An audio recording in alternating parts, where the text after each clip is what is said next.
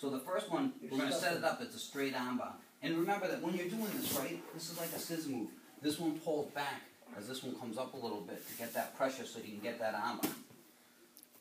Yep, stay tight. Nice. And yeah, you wanna get enough room so that the elbow is right here and you're gonna pull back that way. So that one leg isn't gonna stop the other from moving. Alright? And then the other one, You um, come up and hook it. Get it behind your leg. Yep. like a figure four kind of. Yep. That's just, And then the hip forward. um, When we get it, right? yeah, There you go. And also, when you hook this, right? Let this one out for a second. Kind of trying to be here.